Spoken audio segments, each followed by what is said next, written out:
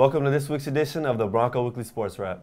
I'm Denzel Johnson. And I'm Cali Reis. Well, the students are back on campus after a week-long spring break. I know I was glad to get away from school for a few days, but how'd you enjoy your break, Denzel? I also enjoyed mine. It was nice to just sit around the house and really not do anything for a few days.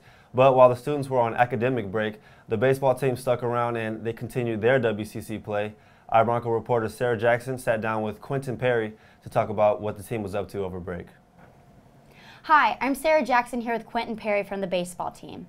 So Quinton, fortunately I was able to go to Mexico for spring break, but y'all had to stay back and travel. Where'd you guys go and how'd those games go? Well, we actually, we got to go to San Diego throughout the week and we stayed down there and we got to actually see Jose Vizcaino's house. Um, it was beautiful as expected and then uh, we traveled to Stockton and we got our first conference series win. Oh, that's awesome. Congratulations on that. Also, congratulations on Portland. You guys won the series this weekend.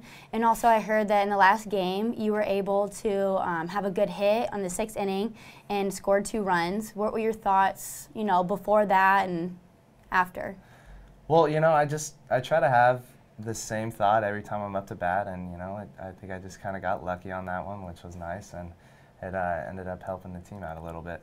So. Well, that's awesome. And again, congratulations. Thank you. Um, so now that y'all are going further through the WCC play, um, have you guys been meeting your expectations? How do you guys feel about the season so far?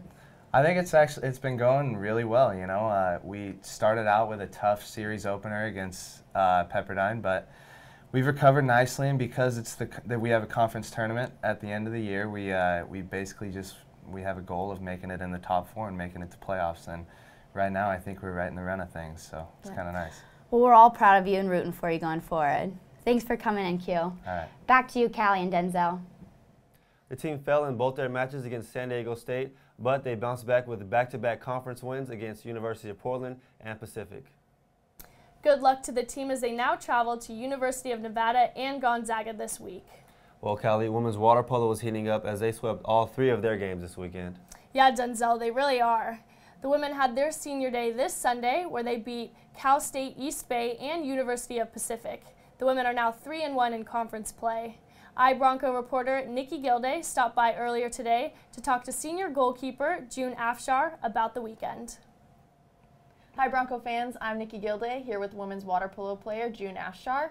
So this past weekend, you guys had a killer weekend. You went three and one in GCC play. So do you want to talk a little bit about how conference has gone for you so far? Yeah, conference has gone really well. We had two big wins against Fresno Pacific on Saturday and UOP yesterday. So so far we're three and one, like you said.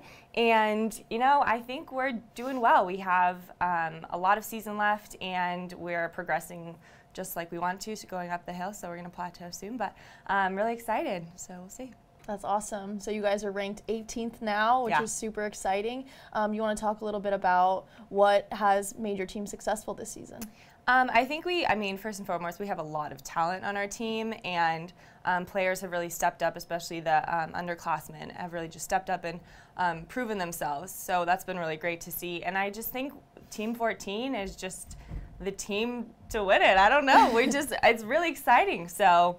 I think we've worked really hard. Coaches pushed us a lot harder this year than at least my four years. So um, I think I think we'll do it. We'll see. That's definitely exciting. Yeah. Um, you also had your senior day this mm -hmm. past weekend, so you know that can be emotional, positive, negative, a little bit. You want to mm -hmm. talk about for you personally how your uh, senior day went for you and your senior season so far. Yeah. Um, senior, I mean, like you said, it's you know filled with lots of emotions. Um, thankfully, we have two more home games, so it wasn't our final home game, but um, it's just been just an honor and a blessing to really play here. So, um, kind of ending the season with our senior game and ending um, up three and one so far in conference has been great, and um, I'm just really excited to finish out the season with this team and see what we can do. That's awesome. Well, thanks for coming in and chat with me. Thank you. Back to you, Cali and Denzel. The women host two games this weekend against San Diego State and Sonoma State this Friday at 3 and Saturday at 1. Well, the number 67 men's tennis team fell to USD on Friday, but they were able to come back on Saturday and top BYU 6 to 1. Congratulations to the dynamic doubles duo, John and Ilya, as they now have a 12 and 1 record this season. The team's next match will be on Wednesday at 3 p.m. as they host the University of Oregon, who is currently ranked 27th. Well, men's rowing competed in the San Diego Crew Classic this past weekend, where the A boat was able to beat San Diego State, Long Beach State, and LMU. Congratulations to the JV boat that was able to place third in the petite final, and the team's next race will be at Stanford in two weeks. Women's tennis wasn't able to pick up the win against number 58 BYU this past weekend as they fell in a tight match 4 to 3. They'll now head into this weekend 2 and 3 in conference play as they play University of Portland and then Gonzaga, which will be their senior day. Well, the women's and men's golf teams closed out their regular season play this past weekend at the Wyoming Cowboy and Cowgirl Classic. Good luck to the team as they now prepare for the WCC Championships next Monday and Tuesday in Maricopa, Arizona. Congratulations to the softball team as they were able to pick up their first conference win against the University of Pacific 2 to 0. And good luck to the team as they now head out to Utah to face Utah Valley and BYU. Well, women's soccer opened their spring season this past Sunday against the Sacramento Storm, where the game ended in a tie. Make your way out to Buck Shaw this Thursday at 7 as the team hosts Cal in their second spring matchup. Well, that's going to do it for this week's edition of the Bronco Weekly Sports Wrap. Go Broncos!